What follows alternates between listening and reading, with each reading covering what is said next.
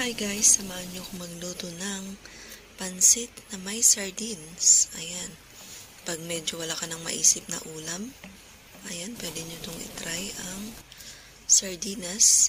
Bali, ginisa lang yan sa bawang at sibuyas at ilagay yung uh, sardines and then lagyan niyo ng konting tubig at timplahan ng asin at paminta, magic sarap yung bihon kasi ay tira nung nakaraang birthday ko.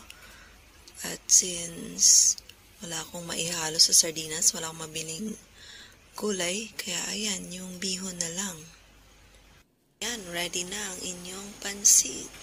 Super tipid at quick cooking na pansit. Yan, super sarap niyan guys kung mahilig kayo sa sardines. Thank you for watching. Please heart and share my videos.